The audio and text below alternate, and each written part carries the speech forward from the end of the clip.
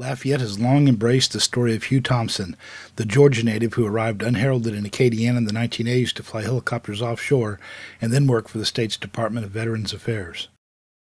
More than a decade earlier, as a 24 year old chief warrant officer, Thompson helped stop one of the bloodiest events of the Vietnam War by putting his helicopter between Vietnamese civilians and rampaging U.S. Army troops, who killed more than 500 people in an area known as My Lai.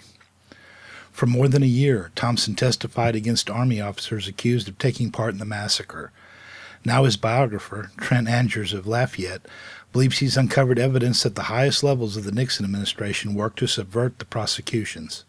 Well, what we've discovered through extensive investigative uh, reporting and interviews is that President, President Richard Nixon led an effort to sabotage the My Lai trials so that no American would be convicted of a war crime. My generated tremendous public pressure, much of it focused on Lieutenant William Calley, the only officer convicted in the My prosecutions. He was released after serving three years of house arrest, so the Nixon administration's sabotage efforts may have worked. Uh, the evidence included several things. The handwritten notes of, of Bob Haldeman, who was Nixon's chief of staff, that's one. Uh, the Haldeman diaries, that's two. Uh, we have interviews with one of the prosecutors of the My court martial. That's three. Um, there was a letter from the Secretary of the Army at the time, as well as letters from a dozen different congressmen that pointed out that they understood and they saw what was being done by, by the members of the House Armed Services Committee to cooperate with President Nixon in the sabotage of the My trials. White House Chief of Staff Bob Haldeman's notes, discovered by Angers in the Nixon Library, indicate that a Lai working group included Henry Kissinger, Pat Buchanan, and Lyn Nofziger, among others. The notes talk about dirty tricks and call for help from two senators. Instead, two U.S. House members called witnesses to testify before Congress, then sealed their testimony. That move led to the outright dismissal of charges against one defendant and complicated the prosecutions of the other four defendants. More ominously for Thompson, the notes called for an attempt to discredit one witness. Thompson was grilled in Congress over the charge that he trained his helicopter's guns on U.S. troops.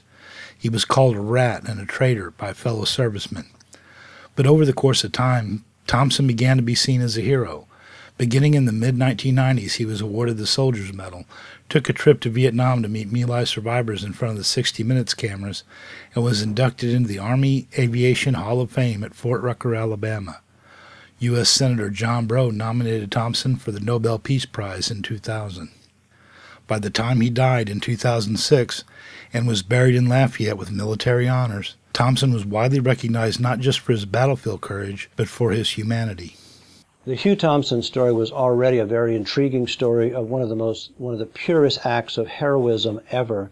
But I think it's enhanced further when you realize that Thompson was a hero not on, not only on the battlefield at My Lai, but in the courtroom when he testified on behalf of the, of the Army over and over and over again against those who committed war crimes at My Angers has revised his Thompson biography, The Forgotten Hero of My Lai, with the findings of his research into the Nixon administration handling of the prosecutions. You can buy the book at acadianhouse.com. Read more about Thompson and Angers in an Acadiana People column beginning Saturday night at theadvertiser.com and in Sunday's Daily Advertiser.